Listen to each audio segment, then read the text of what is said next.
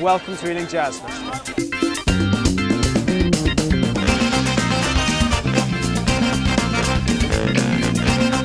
Oh, I think it's fundamental. People come from all over for Ealing Jazz. It makes living in West London what it is really. It's just fantastic.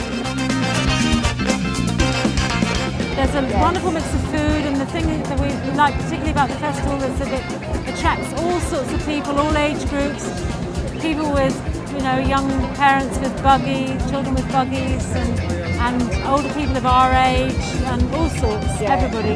Ealing residents, it's everybody is represented here.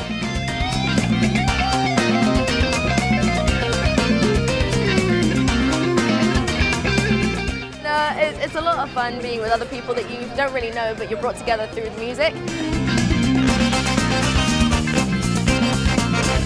The whole thing is one of the things for me that stands out about Ealing as being one of the great boroughs. Um, a lot of people come, I know, from all over London specifically for this festival, so yeah, I think it's very important.